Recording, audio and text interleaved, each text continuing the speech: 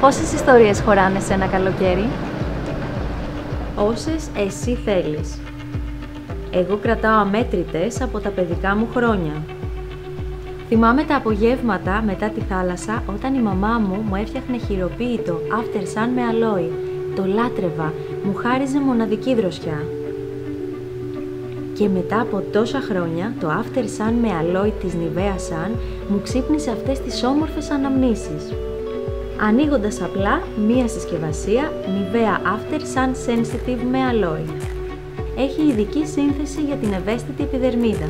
Καταπραίνει από ερεθισμούς χάρη στη βιολογική αλοεβέρα και αντιοξυδοτικά που ανακουφίζουν άμεσα από το αίσθημα τραβήγματος και φυσικά έχει και το αγαπημένο άρωμα.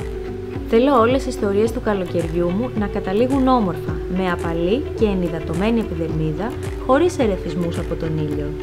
Γι' αυτό το λόγο τη φροντίζω με τον Nivea Sun After Sun Sensitive με Aloe Vera που έχει σύνθεση ειδικά για την ευαίσθητη επιδερμίδα και ανακουφίζει άμεσα από τους ερεθισμούς. Διάλεξε τις πιο όμορφες ιστορίες, αυτές που θα σε ταξιδεύουν κάθε στιγμή στον χρόνο και θα σε γεμίζουν χαρά. Κάνε δικό σου το καλοκαίρι με τα προϊόντα Nivea Sun.